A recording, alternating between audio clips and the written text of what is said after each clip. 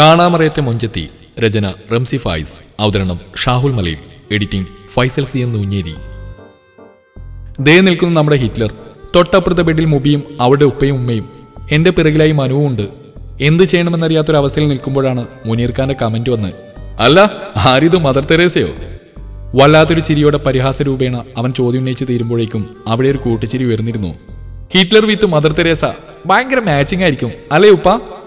മനു അതും പറഞ്ഞ് എന്നെ നോക്കിയപ്പോൾ എനിക്ക് അവനെ കൊല്ലേണ്ട ദേഷ്യമുണ്ടായിരുന്നു.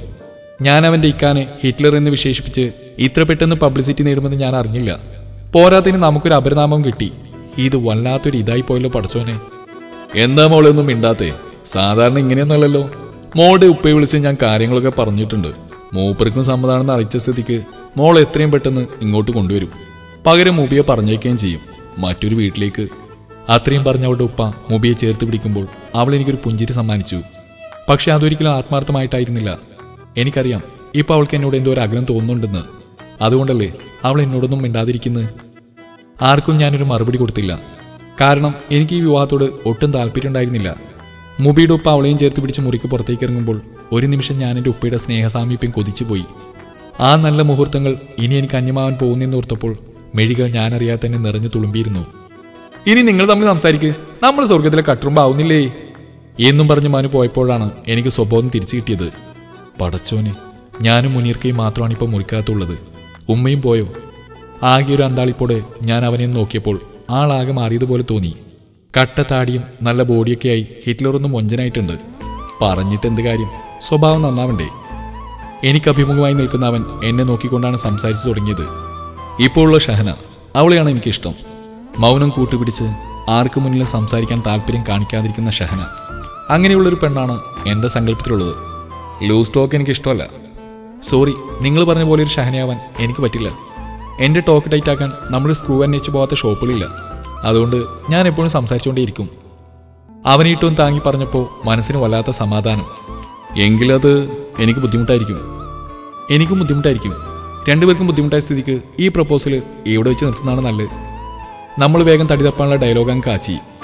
രണ്ട് വീട്ടുകാരും തമ്മിൽ ഇത് ഉറപ്പിച്ച മട്ടാണ്. പെട്ടെന്ന് എന്ത് കാരണം പറഞ്ഞ് ഒഴിവാവും? നിങ്ങൾക്ക് ഇഷ്ടമല്ലെന്ന് പറഞ്ഞാൽ മതി. പിന്നെ അത്രയ്ക്ക് നിർബന്ധമാണെങ്കിൽ വീട്ടുകാർ തമ്മിൽ കല്യാണം കഴിച്ചോട്ടെ? അല്ല പിന്നെ. ഷഹന പ്ലീസ് ഞാൻ ഇതാണ് പറഞ്ഞത്. എനിക്ക് ഈ അധിക സംസാരം ഇഷ്ടമല്ലെന്ന്. തനിക്ക് സ്വഭാവം ഒന്ന് മാറ്റിക്കൂടെ? അതുകൂടി ഇങ്ങ് മാറ്റിയതെങ്കിൽ ഷഹന പെർഫെക്റ്റ് ആണ്? ഞാൻ പറഞ്ഞല്ലോ എനിക്ക് എന്റെ ഈ സ്വഭാവം പെട്ടെന്ന് അങ്ങനെ മാറ്റാൻ പറ്റില്ല. സംസാരത്തോട് അത്രയ്ക്ക് വിരോധമാണെങ്കിൽ നിങ്ങളൊരു ഊമയെ കല്യാണം കഴിച്ചോളൂ. അപ്പോൾ പ്രശ്നമില്ലല്ലോ. താനൊന്ന് പോയി. ഇനി നീ സംസാരിക്കണ്ട. നിന്റെ ഉപ്പാനെ വിളിച്ച് ഞാൻ തന്നെ പറഞ്ഞോളാം. ആവു സമാധാനായി. ഈ പായന്റെ കയ്യിൽ നമ്മൾ രക്ഷപ്പെട്ടല്ലോ. ഓക്കെ അവ ശരി കാണാം. നിറഞ്ഞ പുഞ്ചിരിയുമായി ഞാൻ റൂമിന്റെ ഡോർ തുറക്കുമ്പോഴാണ് അവന്റെ ബാക്കി സംസാരം കൂടി കേട്ടത്. നിന്റെ ഉപ്പാനെ വിളിച്ചിട്ട് ഞാൻ പറഞ്ഞോളാം. എനിക്ക് കല്യാണത്തിന് സമ്മതാണെന്ന്. അവിടെ ഈ ദുസ്വഭാവം ഞാൻ തന്നെ മാറ്റിക്കൊടുത്തോളാന്ന്. അത്രയും നേരം എന്റെ ചുണ്ടിൽ വിരിഞ്ഞ പുഞ്ചിരി എങ്ങോ പോയി മറിഞ്ഞപ്പോൾ അവനെ ഒന്ന് രൂക്ഷമായി നോക്കാൻ ഞാൻ തിരിഞ്ഞു. പക്ഷേ ആ ഹിറ്റ്ലർ നമ്മളെ മൈൻഡാക്കാതെ മൊബൈൽ നോക്കി കുത്തി കളിക്കുന്ന കണ്ടപ്പോൾ ഞാൻ എന്റെ ദേഷ്യം ഡോറിനോട് തീർത്തു. ഡോർ വലിച്ചടച്ച് ഞാൻ പുറത്തു കിടന്നു മനു എന്റെ മുന്നിലേക്ക് പ്രത്യക്ഷപ്പെട്ടു. എന്താ ഇക്ക പറഞ്ഞു? ഇപ്പോഴേ ഭാവി കാര്യങ്ങളൊക്കെ തീരുമാനിച്ചോ? കുറേ നേരമായല്ലോ രണ്ടും കൂടി സംസാരിക്കുന്നു. എന്നും ഇങ്ങനെ സംസാരിക്കാൻ വിടുന്നു കരുതുന്നുണ്ട് കേട്ടോ.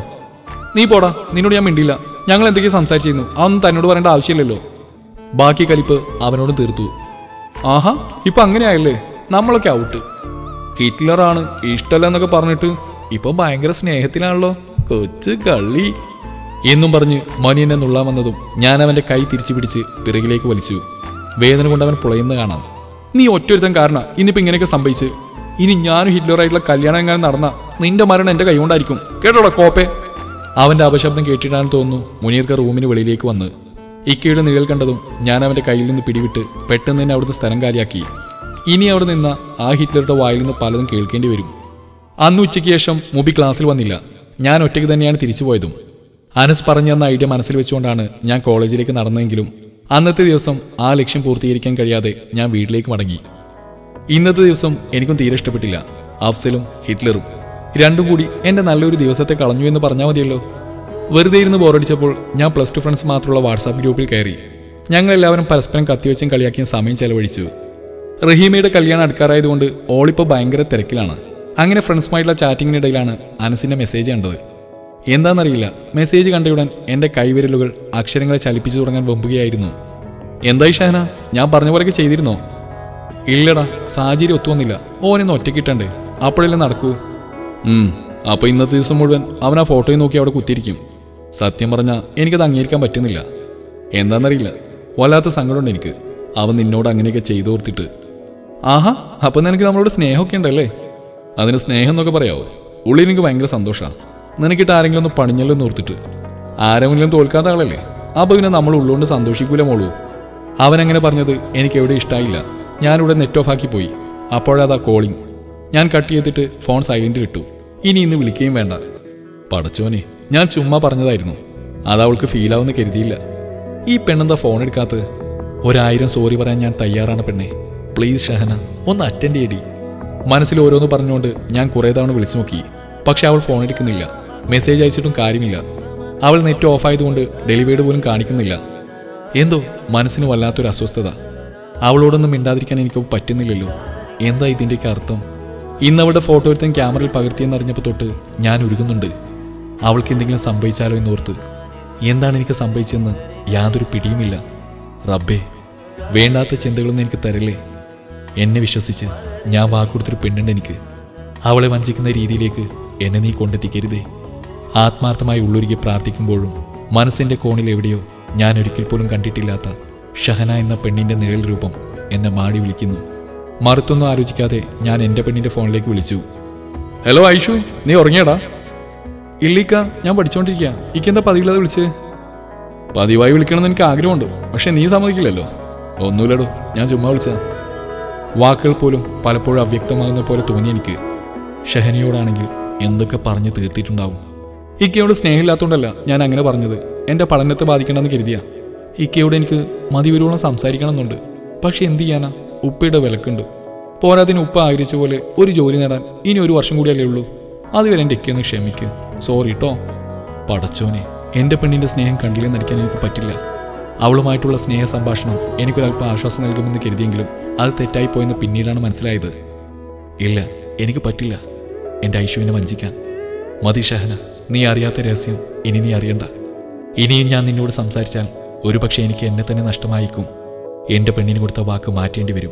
ഇക്ക നിങ്ങളിത് എവിടെയാ? ഫോൺ വിളിച്ചിട്ട് മിണ്ടാതിരിക്കുന്നത് എന്താ? ഒരുപാട് നന്ദിയുണ്ട് കേട്ടോ എന്റെ പഠനത്തിന് വേണ്ടി നല്ലൊരു തുക വീട്ടിലെത്തിച്ചതിന്. ഇതിനൊക്കെ പകരമായി ഞാൻ എന്റെ കേസ് സ്നേഹിച്ചു കൊല്ലും. അവളുടെ വാക്കും ഹൃദയം തുറന്നുള്ള ആ പുഞ്ചിരിയും ഞാൻ ഇവിടെ ഇരുന്ന് കണ്ടു. എന്തോ? ചെറിയൊരു ആശ്വാസം തോന്നി. ആ ഉപകാരസ്മരണ ഇടയ്ക്കിടെ നീ തരുന്നുണ്ടല്ലോ. ഇനി അത് വേണ്ട കേട്ടോ പിന്നെ ഞാൻ ഇനി അധികം വിളിച്ച് എന്റെ ഐശ്വനെ ബുദ്ധിമുട്ടിക്കില്ല. മോൾ നന്നായിട്ട് പഠിക്കുക എന്നാൽ ശരി ഞാൻ വെക്കുക മറുത്തൊരു മറുപടി കാത്തിൽക്കാതെ ഞാൻ കോൾ കട്ട് ചെയ്ത് ബെഡിലേക്ക് ചാഞ്ഞു. ഇനിയൊരു സംസാരം ഞാനും ഷാനിയും തമ്മിൽ ഉണ്ടാവാൻ പാടില്ല എന്നുള്ളൊരു ദൃഢപ്രതിജ്ഞയിൽ ഞാൻ അന്നത്തെ രാവിലെ യാത്രയാക്കി. രാവിലെ ഉപ്പ് വിളിച്ചപ്പോൾ ഞാൻ കലിപ്പം കൂടുതലാണ് സംസാരിച്ച് വേറൊന്നും കൊണ്ടല്ല. ആ ഹിറ്റ്ലറുമായിട്ടുള്ള ബന്ധത്തിന് ഉപ്പ കൂട്ടുന്നതിന്. എന്നാൽ ഉപ്പ എന്നോട് ചതി ചെയ്യേണ്ടായിരുന്നു. എന്റെ മോൾ അവനെ കുറിച്ച് ഞാൻ ഒരുപാട് അന്വേഷിച്ചു.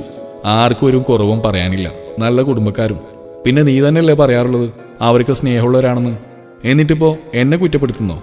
എന്റെ തീരുമാനം തെറ്റായിരിക്കില്ല മോൾ. അതോർത്ത് മോൾ വിഷമിക്കണ്ട. എന്നാൽ ഉപ്പ ഞാൻ ഒരെന്നാലും ഇല്ല മോൾ ഇൻഷാല്ല ഞാൻ നാട്ടിലെത്തിയാലുടൻ ഈ കാര്യത്തിലൊരു തീരുമാനമാവും അപ്പോഴെങ്കിലും ഉപ്പാക്ക് നാട്ടിൽ വരാൻ തോന്നിയല്ലോ. എനിക്ക് അത് മതി. ഉപ്പയെ കാണാമെന്നുള്ള സന്തോഷത്തിൽ ഞാൻ മുനീർ കൈമാള വിവാഹ ഉടമ്പടിക്ക് അർത്ഥസമ്മതം മൂളി. ഉപ്പയുടെ ഫോൺ വെച്ചപ്പോഴാണ് അനസിനെ കുറിച്ച് ഓർമ്മ വന്നത്.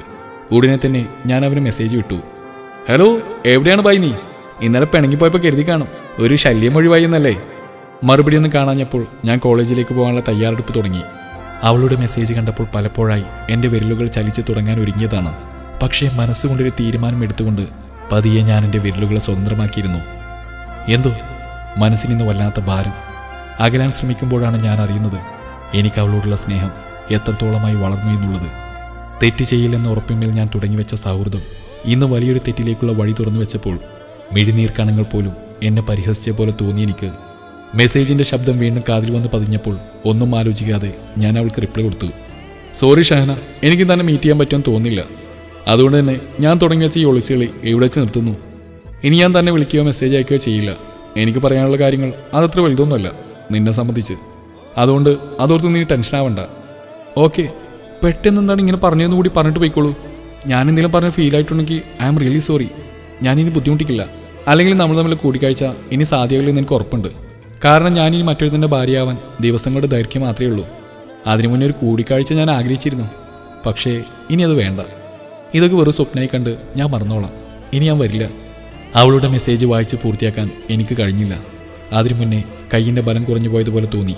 ഉള്ളം കയ്യിലിരുന്ന ഫോൺ നിലംപതിച്ച് കണ്ടു നിൽക്കുമ്പോൾ ഞാൻ അറിഞ്ഞു ഉള്ളിന്റെ ഉള്ളിൽ മാത്രമല്ല അവൾ ഉള്ളത് എന്റെ മനസ്സും ശരീരവും ഇപ്പോൾ അവൾ എന്റേതാവാൻ കൊതിക്കുന്നുണ്ടെന്ന്. അതുകൊണ്ടാണല്ലോ അവൾ മറ്റൊരു തന്നെ സ്വന്തമാവൻ പോകുന്നതെന്നറിഞ്ഞപ്പോൾ എന്റെ കൽബ് പിടഞ്ഞത്. Miss you Shana I really miss you പറ്റുമോ പെണ്ണെ? നിനക്കെന്നെ വെറും ഒരു സ്വപ്നമായി കണ്ട് മറക്കാൻ. എന്തുകൊണ്ടായിരിക്കും പെട്ടെന്നവൻ എന്നോട് അങ്ങനെ പറഞ്ഞത്? എന്റെ ഭാഗത്തുനിന്ന് ഇനി വല്ല പോരായ്മകൾ വന്നുപോയോ? ഓരോന്ന് ആലോചിച്ചിരുന്നല്ലാതെ അവന്റെ മറുപടിയൊന്നും കണ്ടില്ല. അവിചാരിതമായിട്ടാണ് പരിചയപ്പെട്ടതെങ്കിലും നല്ലൊരു സുഹൃത്തായി കൂടെയുണ്ടായിരുന്നവൻ. ഇന്നിപ്പോൾ പെട്ടെന്നങ്ങനെ പറഞ്ഞപ്പോൾ എന്തോ വല്ലാതെ ഫീൽ ചെയ്തു. എന്നാലും അവൻ പറയാൻ പോയ കാര്യം എന്തായിരിക്കും? ചിന്തകൾ മേഞ്ഞു നടന്നതല്ലാതെ കാര്യമായൊരു ഉത്തരം എനിക്ക് കിട്ടിയില്ല. കോളേജിൽ നിന്ന് ബോറടിച്ചാൽ ഇനി എനിക്ക് സംസാരിക്കാൻ അവനുമില്ല. അല്ലെങ്കിലും അത് എത്ര നാൾ കൊണ്ടുപോകാനാവും സാരമില്ല. എല്ലാം നല്ലതിനാണെന്ന് വിശ്വസിക്കാം. പിന്നെ അവൻ പറഞ്ഞ തന്ന ഐഡിയ എപ്പോഴും മനസ്സിലുണ്ട്. അഫ്സലിന്റെ ഫോണിൽ നിന്ന് എന്റെ ഫോട്ടോ ഇല്ലാതാക്കാനുള്ള പോംവഴി അതിനൊരു അവസരം ഒത്തുകിട്ടിയാൽ അത് നടപ്പാക്കണം. ആ ഉദ്യമം വിജയിച്ചാൽ അവനെ ഒന്ന് അറിയിക്കെങ്കിലും വേണം. മുബി എന്നോട് അകലം കാണിച്ച് നടക്കാൻ തുടങ്ങിയപ്പോൾ എന്റെ ഉള്ളമൊന്ന് പിടഞ്ഞു. അവളെ വിളിച്ചിരുത്തിയെല്ലാം സംസാരിച്ച് ശരിയാക്കിയപ്പോൾ വീണ്ടും ഞങ്ങളുടെ ആ നല്ല സൗഹൃദം എനിക്ക് തിരികെ ലഭിച്ചു എന്നുള്ളതായിരുന്നു എന്റെ ഏക ആശ്വാസം. മിനിറ്റുകൾ മണിക്കൂറുകളിലേക്കും മണിക്കൂറുകൾ ദിവസങ്ങളിലേക്കും പരിണമിച്ചു കൊണ്ടിരുന്നപ്പോൾ ഞാൻ അറിയുകയായിരുന്നു അവളുടെ അഭാവം. അതെന്നെ വല്ലാതെ തളർത്തിക്കളഞ്ഞു. ഇന്ന് എന്റെ സീനിയർ സാർ പോലും എന്നോട് അതിന്റെ കാരണം ചോദിച്ചപ്പോൾ ഒന്നും പറയാതെ ഒഴിഞ്ഞു മാറുകയാണ് ചെയ്തത്. അവളെക്കുറിച്ച് ഓർക്കാത്ത ഒരു ദിവസം പോലും എന്നിലൂടെ കടന്നു പോയിട്ടില്ല. അവളാണെങ്കിലോ എല്ലാം മറന്നിട്ടുണ്ടാവും. വേണ്ട ഇനിയൊരു ഓർമ്മപ്പെടുത്തലിന്റെ ആവശ്യമില്ല. നീ അറിയാത്ത രഹസ്യം നിന്നിലേക്ക് എത്തിക്കാൻ ഇനി മറ്റാരെങ്കിലും വരുമായിരിക്കും ഷഹന. ഇനിയും നീ എന്നോട് കൂട്ടുകൂടാൻ വന്നാൽ ഒരുപക്ഷെ എന്നെ സംബന്ധിച്ചിടത്തോളം അത് ബുദ്ധിമുട്ടായിരിക്കും. നിന്നെ പിരിയാതിരിക്കാനുള്ള വഴി അന്വേഷിച്ച് ഞാൻ ഒരുപാട് കഷ്ടപ്പെടേണ്ടി വരും. ഒരൽപ്പം വേദന ഞാൻ അനുഭവിച്ചാലും കുഴപ്പമില്ല. ഇവിടം കൊണ്ടെല്ലാം അവസാനിച്ചല്ലോ. പക്ഷേ യഥാർത്ഥത്തിൽ കഥ തുടങ്ങിയത് അവിടെ നിന്നായിരുന്നു. കാണാം എങ്ങനെയായിരുന്നു ഉപ്പയുടെ വരവിന് ഇനിയാകെ പത്ത് ദിവസമേ ഉള്ളൂ. റഹിയുടെ കല്യാണം കൂടാൻ ഞങ്ങൾക്ക് ഒരുങ്ങിയും കഴിഞ്ഞു. മൂന്ന് ദിവസത്തിനുള്ളിൽ അവൾ ഞങ്ങളിൽ നടന്നു പോവും. മറ്റൊരു വീട്ടിലെ കുടുംബിനിയായി. അത് കഴിഞ്ഞാൽ ഞാനായിരിക്കും അടുത്ത ആൾ. അന്ന് ലഞ്ച് ബ്രേക്കിന് ഫുഡും കഴിച്ച് മൊബിയുടെ വീട്ടിലേക്ക് നടന്നു പോകുമ്പോഴാണ് ബോയ്സിന്റെ ടോയ്ലറ്റ് ലക്ഷ്യമാക്കി പോകുന്ന അജ്മലിനെ കണ്ടത്. അജ്മൽ ആരാന്നല്ലേ? അഫ്സലിന്റെ കൂട്ടുകാരൻ. ആ തെണ്ടിയാണ് അന്ന് മൊബൈലിൽ ഫോട്ടോ പകർത്തിയത്. അവനിട്ടൊരു പണി കൊടുക്കാൻ കാത്തിരുന്ന എനിക്ക് അതിൽ പരം സന്തോഷം വേറൊന്നുമില്ലായിരുന്നു. മുബി അന്ന് നേരത്തെ പോയതുകൊണ്ട് ഞാൻ ഒറ്റക്കായിരുന്നു. അവനും ഒറ്റക്കാണ്. ഞാനും അവന്റെ പിന്നാലെ പോയി. അജൂക്ക ഒന്ന് നിൽക്കുവോ സ്നേഹവും വിനയവും കൂട്ടിക്കുഴച്ച് ഞാനവനെ വിളിച്ചു നിർത്തുമ്പോൾ ഒരത്ഭുത ജീവിയെ പോലെ അവൻ എന്നെ നോക്കുന്നുണ്ടായിരുന്നു. കാരണം ഞാൻ അഫ്സലിനെ പോലും ഇക്കാന്ന് വിളിച്ചിട്ടില്ല. അല്ല ആരിത് സഖാവിന്റെ മൊഞ്ചത്തിയോ? എന്താ പെണ്ണേ നീ ഇവിടെ? അവന്റെ സംസാരം എന്നിലൊരൽപ്പം ദേഷ്യമുളകൂട്ടാൻ കാരണമായെങ്കിലും അതൊന്നും പുറത്തു കാട്ടാതെ ഒരു പുഞ്ചിരിയോടെ ഞാൻ അവനിലേക്ക് നടന്നെടുത്തു. കുറച്ച് സമയം അവനെ നോക്കി നിന്നു. ഇക്ക എനിക്ക് നിങ്ങളോടൊരു കാര്യം പറയാനുണ്ടായിരുന്നു ആരെങ്കിലും കാണുന്നുണ്ടോ എന്ന് നോക്കിയാണ് ഞാൻ അവനോട് സംസാരിക്കുന്നത്. അതുകൊണ്ട് തന്നെ അവൻ ബാത്റൂമിന്റെ സൈഡിലേക്ക് മാറി നിൽക്കാമെന്ന് എന്നോട് പറഞ്ഞത്. എന്താ നിനക്ക് പറയാനുള്ളത്? പെട്ടെന്ന് വേണം. നിന്നോട് ആരെങ്കിലും സംസാരിച്ചു എന്നറിഞ്ഞാൽ പിന്നെ പറയണ്ട. അവസാനം പിരിയളകും. അത്രയ്ക്ക് പ്രാന്താണ് അവന്. നീ എന്ന് പറഞ്ഞ അവന്റെ സംസാരം കേട്ടപ്പോൾ എനിക്കൊന്ന് ചൊറിഞ്ഞു വന്നതാണ്. പിന്നെ പ്രതികരിക്കാൻ നിന്നില്ല. അത് തന്നെയാണ് ഇക്ക എന്റെയും പ്രശ്നം. ഞാനിവിടെ വന്നപ്പോൾ തൊട്ട് നിങ്ങളെ ശ്രദ്ധിക്കുന്നുണ്ട്. എന്താണെന്നറിയില്ല കണ്ട നാൾ തൊട്ട് എന്റെ കൽബിൽ കയറി കൂടിയതാണ് നിങ്ങൾ പക്ഷേ നേരിട്ട് പറയാനൊരു സാഹചര്യം ഒത്തു വന്നില്ല ഇതുവരെ. പേടിയുണ്ടായിരുന്നു. പലപ്പോഴും പറയാതിരുന്നു. അഫ്സൽ എന്തേലും നിങ്ങളോട് കാട്ടിയാലോ എന്ന് പേടി. എനിക്ക് ആ ജൂക്കാനോട് തോന്നിയ പ്രണയം ഞാൻ ആരോടും പറയാതെ മൂടി വെച്ച് നിങ്ങളോടുള്ള സ്നേഹക്കൂടുതലുകൊണ്ടാണ് നിങ്ങൾക്ക് എന്തെങ്കിലും സംഭവിച്ചാൽ പിന്നെ എനിക്കത് താങ്ങാൻ പറ്റില്ല. അത്രയ്ക്ക് ഇഷ്ടമാണ് എനിക്ക് എന്റെ അജൂക്കെ ഇക്കയോളം മൊഞ്ചൊന്നും ഈ കോളേജിൽ ആർക്കും തന്നെ ഇല്ല. എന്റെ സംസാരം കേട്ട് പാവം ഒന്ന് അവിശ്വസിച്ചെങ്കിലും എന്റെ അനുരാഗത്തിന്റെ നോട്ടം അവനെ വിശ്വസിപ്പിക്കാൻ പ്രേരിപ്പിച്ചു. അല്ല പിന്നെ പെണ്ണിനോടാ ഓന്റെ കളി. അകലം പാലിച്ചിരുന്ന അവൻ എനിക്കരികിലേക്ക് എത്തുമ്പോൾ എന്റെ ഹൃദയമിടിപ്പിന്റെ താളം ഉയർന്നുകൊണ്ടിരുന്നു. ഷഹന നീ എന്താ പറഞ്ഞ്? നിനക്കെന്നെ ഇഷ്ടമാണെന്നോ? സത്യമാണോടാ ഓടാ കോപ്പേ തന്നെ കാര്യം ഇഷ്ടപ്പെടുവോ? അത്രയ്ക്ക് തെണ്ടിത്തരണ്ടല്ലോ നിന്റെ പക്കൽ. ഇതൊക്കെ നമ്മൾ മനസ്സിൽ പറഞ്ഞ നേരിട്ട് പറഞ്ഞാൽ പിന്നെ അവിടെ വൈദ്യസ് കൊലവറി നടക്കും. ഇക്കെന്താ അങ്ങനെ ചോദിക്കുന്നു? എന്നെ വിശ്വാസമില്ലെങ്കിൽ ഓക്കെ ഞാൻ പോവാ. ഗ്ലീസറിന്റെ ആവശ്യമില്ലാത്ത തന്നെ ഒരല്പം കണ്ണീരും എന്റെ അഭിനയത്തിന് മികവ് കൂട്ടിയപ്പോൾ അവൻ വിശ്വസിച്ചു. തിരിഞ്ഞു പോവാനൊരുങ്ങിയ എന്റെ കയ്യിൽ അവൻ പിടിച്ചപ്പോൾ ഞാനൊന്ന് പതിരെങ്കിലും അത് പുറത്തു കാട്ടിയില്ല. വിശ്വാസക്കുറവൊന്നുമില്ലടാ എങ്കിലും അഫ്സൽ ഇതറിഞ്ഞ അവൻ അത്രയും പറഞ്ഞു നിർത്തിയപ്പോൾ ഉള്ളിൽ ചിരിച്ചുകൊണ്ട് ഞാൻ എന്റെ ലക്ഷ്യത്തിലേക്ക് നടന്നു. അഫ്സൽ ഇതൊന്നും അറിയില്ലേക്ക. നിങ്ങൾ സമാധാനമായിട്ടിരിക്കുക എന്തായാലും ഇന്ന് എനിക്ക് എന്റെ ആഗ്രഹം സാധിച്ചല്ലോ. എന്റെ ഇക്കയോടൊപ്പം തനിച്ചൊന്ന് സംസാരിക്കാൻ പറ്റിയല്ലോ. അത് മതി. ആരും കാണാതെ നമുക്ക് ഇനിയും സംസാരിക്കാം. ഓ അതിനെന്താ ഷഹന? നിന്നെ പോലൊരു മൊഞ്ചത്തിയോട് കൊഞ്ചാൻ ഏത് ചെക്കനാ കൊതിക്കാതിരിക്കുക എനിക്ക് സമ്മതാണ് പെണ്ണെ. എന്നും നിന്നോടൊപ്പം ചെലവഴിക്കാൻ. ഇക്ക എനിക്കൊരു ആഗ്രഹം കൂടിയുണ്ട്. അതുകൂടി സാധിപ്പിച്ചു തരുമോ എന്താണേലും പറഞ്ഞോ ഷഹന. ഞാൻ നടത്തി തരും അതും പറഞ്ഞ് അവൻ എന്റെ കണ്ണുകളിലേക്ക് നോക്കിയപ്പോൾ ഞാൻ ഉരുകി ഇല്ലാതാവുന്ന പോലെ തോന്നി എനിക്ക്. ഇല്ല പിടിച്ചു നിന്നേ പറ്റൂ. അജുക്ക അത് നമുക്ക് രണ്ടുപേർക്കും ഒരു സെൽഫി എടുക്കാം. ചേർന്ന് നിന്നിട്ട്. എന്ന് ഉറങ്ങാൻ പോകുമ്പോൾ എനിക്ക് എന്റെ ഇക്കയെ കാണാമല്ലോ എന്റെ കൂടെ ഉണ്ടെന്ന് വിശ്വസിക്കാമല്ലോ പറഞ്ഞു തീർന്നതും അവൻ എന്നെ വലിച്ച് അവനിലേക്ക് അടുപ്പിച്ചു. അവന്റെ ഫോണിൽ ഒരു സെൽഫി എടുത്തു. ഞാൻ എന്റെ ഫോണിൽ എടുക്കാൻ പറഞ്ഞ് അത് അവനെ ഏൽപ്പിക്കുമ്പോൾ നിഗൂഢമായൊരു പുഞ്ചിരി എന്റെ അതിരങ്ങൾ വിടർന്നിരുന്നു. ഒരു തെറ്റ് തിരുത്താൻ മറ്റൊരു തെറ്റ് ചെയ്യേണ്ടി വന്നെനിക്ക് ഇനിയാണ് ഷഹനയുടെ കളി. രണ്ട് മൂന്ന് സെൽഫി എടുത്ത് കഴിഞ്ഞപ്പോൾ ഞാൻ ഫോൺ അവനിൽ നിന്ന് വാങ്ങി. അപ്പോഴും അവന്റെ തോളോട് ചേർന്ന് നിർത്തി എന്നെ ഒന്ന് മോചിപ്പിക്കാൻ അവൻ ശ്രമിച്ചില്ല നേരിയൊരു ഭീതിയുടെ നേൽപ്പാട് ഞാൻ കണ്ടു. ഇക്ക എന്നെ വീട് ആരെങ്കിലും കാണും ഞാൻ പോട്ടെ. കെഞ്ചുന്ന രൂപത്തിൽ ഞാൻ അവനോട് പറഞ്ഞപ്പോൾ അവൻ എന്നിൽ നിന്ന് അകന്നു. ഓ സോറി ഷഹന ഞാൻ പെട്ടെന്ന് എന്തോ തന്നെ വിട്ട് പോവാൻ തോന്നില്ലടാ. അവന്റെ വാക്കുകൾ കാതിൽ പതിയും മുന്നേ ഞാൻ അതൊക്കെ റെക്കോർഡ് ചെയ്ത് കഴിഞ്ഞിരുന്നു. റൊമാന്റിക് മൂഡിൽ നിൽക്കുന്ന അവനോട് ഞാൻ അവന്റെ ഫോൺ ആവശ്യപ്പെട്ടു. അതിലുണ്ടായിരുന്ന ഫോട്ടോ ഡിലീറ്റ് ആക്കി ഞാനവനെ തിരികെ കൊടുത്തപ്പോൾ സംശയാസ്പദമായി എന്നെ നോക്കുന്ന അവന് നേരെ എന്റെ ഫോൺ നീട്ടിവെച്ചു നോക്ക് അജ്മൽ നീ എടുത്ത ഫോട്ടോ ഇത് വെച്ച് എനിക്ക് നിന്നെ കൊടുക്കാം. എന്റെ മുന്നിൽ രണ്ട് വഴികളുണ്ട്. ഒന്ന് അഫ്സൽ. എന്റെ ദേഹത്തേക്ക് ആരുടെയെങ്കിലും നോട്ടം വീണ അവന്റെ കണ്ണ് രണ്ടും കുത്തിപ്പൊട്ടിക്കാൻ പോലും മടി കാണിക്കാത്തവനാണ് അവനെന്ന്. ആ എന്നെ നീ പ്രണയം നടിച്ച് കൂടെ നിർത്തി ഒരു ഫോട്ടോ എടുത്തെന്ന് കൂടി അറിഞ്ഞാ നിന്റെ പള്ളയിലേക്ക് ഒരു കത്തി കുത്തി കയറ്റാനും മടിക്കാത്തവനാണ് ചങ്കൂറ്റുള്ള ആ സഖാവ്. രണ്ട് ഈ ഫോട്ടോയിൽ കാണുന്ന പെണ്ണിന്റെ മുഖച്ഛായ മാറ്റി ഞാനിതൊന്ന് പോസ്റ്റ് ചെയ്താൽ വൈറലാവും. നീയും ഒളിച്ചോടിപ്പോയ പെണ്ണും. ഇന്നത്തെ കേരളീയർക്ക് ഒളിച്ചോട്ടെന്ന് കേട്ടാൽ മാത്രം മതി മോനെ. ബാക്കിയൊക്കെ അവർ കൂട്ടിച്ചേർത്തോളൂ. അതോടെ തന്റെ ഭാവി ജീവിതം കട്ടപ്പോക ഈ രണ്ട് ഓപ്ഷൻ നിനക്ക് പ്രതികൂലമായ സ്ഥിതിക്ക് നീ ഞാൻ പറയുന്ന അനുസരിച്ചേ മതിയാവൂ. ഒരൽപ്പം ഞെട്ടലോടെയാണ് അവനതൊക്കെ കേട്ടതെങ്കിലും അവന്റെ ഉള്ളിലെ സിംഹം സടകുടഞ്ഞ് എഴുന്നേറ്റു. എന്റെ നേർക്ക് പാഞ്ഞെടുത്തവൻ എന്റെ കഴുത്തിന് പിടിച്ചപ്പോൾ ഞാനൊന്ന് ഭയന്നു.